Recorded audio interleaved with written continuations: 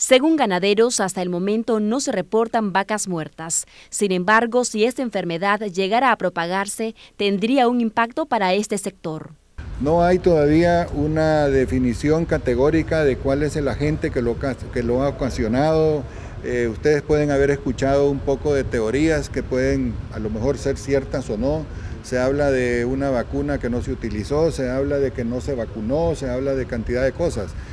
Eh, pero que se va a controlar, se va a controlar. Que el productor nacional es agresivo, eórico, es héroe en su producción y, cuidadoso y celoso de su ganado. Las enfermedades e infecciones se transmiten con facilidad. Según veterinarios, esta podría ser una fusión de varias enfermedades. Sin embargo, hay que realizar estudios. Hemos estado diagnosticando en vacas y en caballos este año en varios departamentos este, casos de tripanosomiasis.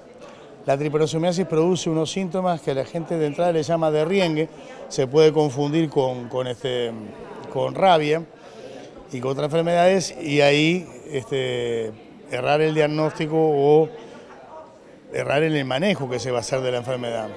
Eh, creo que habría sería necesario hacer una investigación exhaustiva. Una de las soluciones urgentes que plantean veterinarios es la realización de exámenes para determinar si es una bacteria, un parásito o un virus la causante de la muerte de los bovinos. Margin Pozo, Notivoz.